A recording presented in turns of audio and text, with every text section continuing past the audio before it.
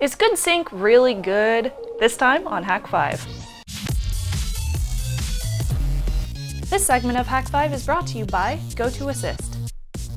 Now you guys know that I really love checking out all sorts of different cloud storage options and different ways to securely and remotely back up all of my different products even sometimes locally. And this one was a pretty interesting one for me. Viewer Jack sent this one in. He said, yet another cloud storage project for you to look at. I like it because it supports secure FTP, SSH, etc. Now this one is pretty interesting. It's basically your own Dropbox clone it's always going to be a good option if you want flexibility, customization, control, and savings, not to mention a little bit more security. Now a nice thing about GoodSync, this one in particular, is it offers SFTP, secure FTP file transfers, and it can sync to online storage medias as well. So for example, if you have Google Drive or Amazon S3, it can sync to those. Very simple, very easy to use. Now the download process is a total breeze, but unfortunately, it's only available for Mac and Windows, and Android and iOS of course, but there's no Linux. That's a total downfall. Now, then you can create your first job once you actually have it all ready to go, and you can do two-way syncing or you can do one-way backup. So I'm going to set up my machine over here to actually set up one-way syncing, for example, for my example. I've already done two-way syncing as well, and that one works fine, but for this one, I'm just going to back up one folder to another and see how it goes. So let's go ahead and take a look at my machine. So I have a couple of folders down here, one and two. So let's say one of these might be a Dropbox folder, for example, and the other one is a local folder. So on this one, I just have a couple of images. In this case, I just have a picture of me, one of, one of those monsters, because why not? And then my other machine my folder has nothing in it quite yet. So I want to make a backup of this picture. So I'm going to go into GoodSync once it's downloaded. And I want to create a new job. You can enter job name. So for this example, I'm going to call it Monsters Backup. And you can either do synchronization, where you do two ways, and this means that the files are changed on both sides, or you can do a backup. So I'm going to do a backup. They're changed on the left side only, propagate changes from left to right. And that's an important thing to remember. So when you open this up on GoodSync, my monsters backup, it's going to show you your new sync job right here. Of course, nothing has happened quite yet. So once I have my job created, I'm going to have to go in and decide which folder is going to be on the left side and which folder is going to be on the right. It's very simple to do. All you have to do is go onto your machine and choose the left sync folder and the right sync folder. So left is going to be my stuff to back up. And my right folder will be my good sync folder. Good sync 2. So once I've browsed to the two different folders that I want to sync up one way, I can go ahead and decide to analyze. So analyzation basically just takes a little bit of time to analyze the data that's in my folder that I want to back up and determine what kind of files and what kind of folders are inside of that. So I'm going to go ahead and click Analyze.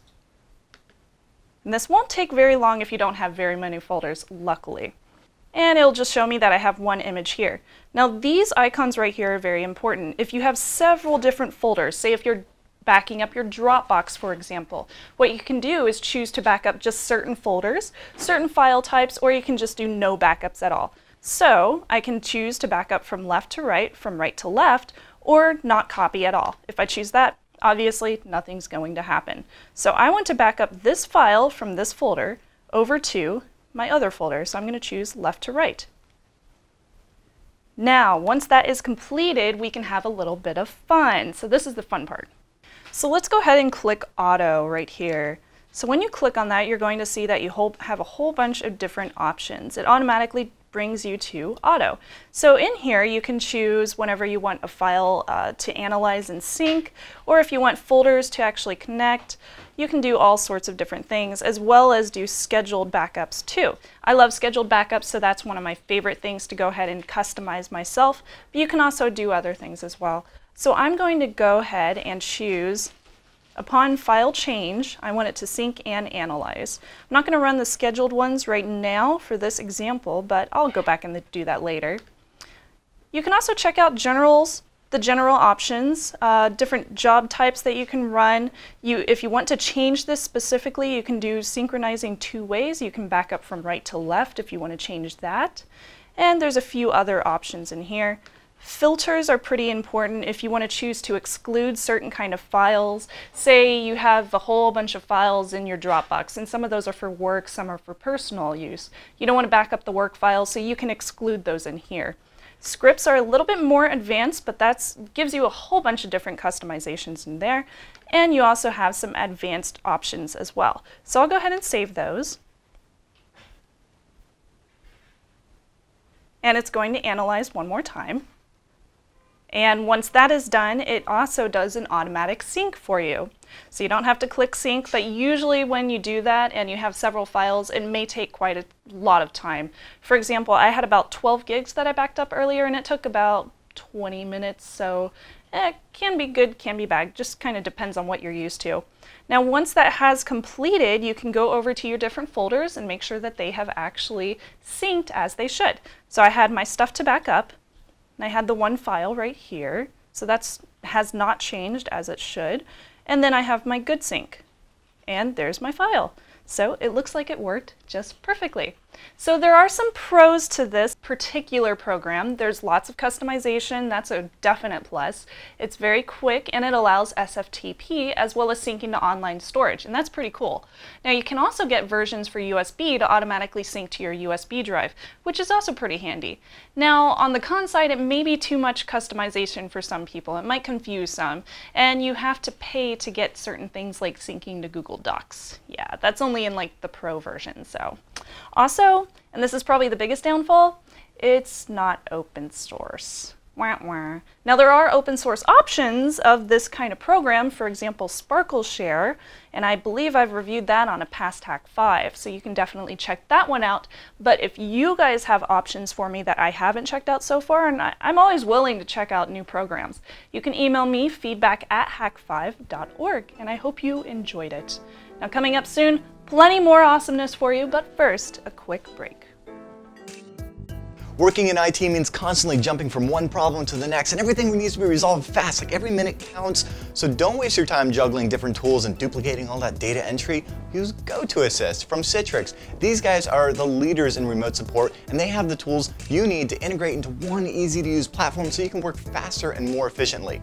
So here's how it works. There's the GoToAssist, uh, essentially three tools in one that you can customize to your needs. There's the service desk, which allows you to track incidents and you know the resolutions. There's GoToAssist monitoring, so you can be proactive about you know, issues, so you can fix them before they become huge problems.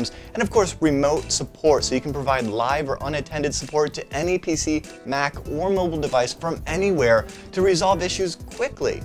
Sign up for your special 30-day free trial. Visit gotoassist.com, click on the Try It Free button, and use the promo code HAK5. That's gotoassist.com, promo code HAK5.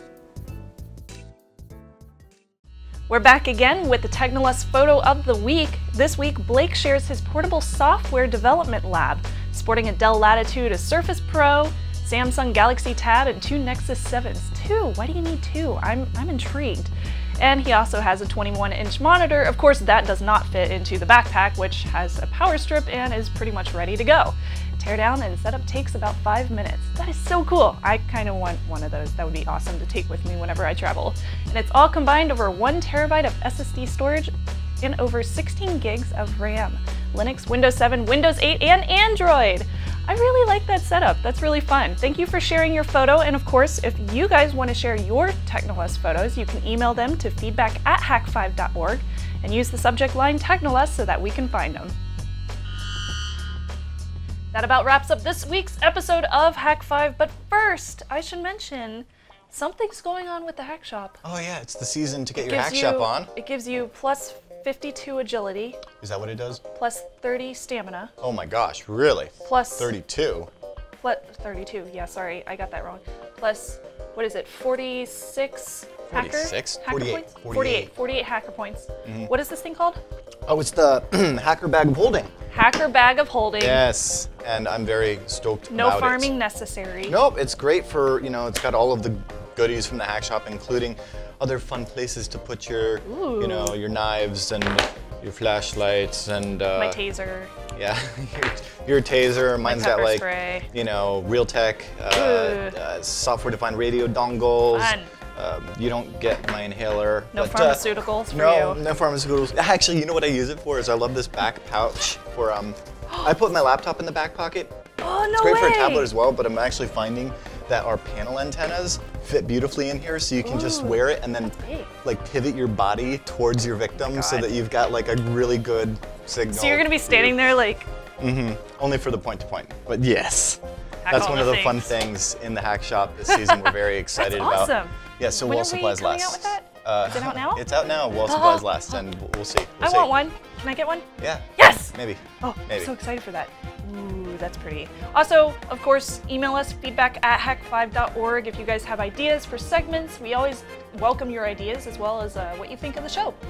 Absolutely, and you can find all the ways to follow us over at hak5.org slash follow. That's where you'll find our links to all the social nets and all of those things. Uh, and, you know, once again, thank you so much for following us, for supporting us directly, and for letting us live this dream because it is so fantastic. Yay! We hope everybody had a good Thanksgiving if you're in the US. If you're not in the US, I hope you had a great week. Yeah, get some turkey anyway. Get some turkey anyway, because it's delicious. all right, with all of that, I'm Darren Kitchen. I'm Shannon Morse. Trust your Technolust. We don't have a jib anymore, so we're just gonna have to do this. Bye. Bye-bye. Bye. Bye-bye.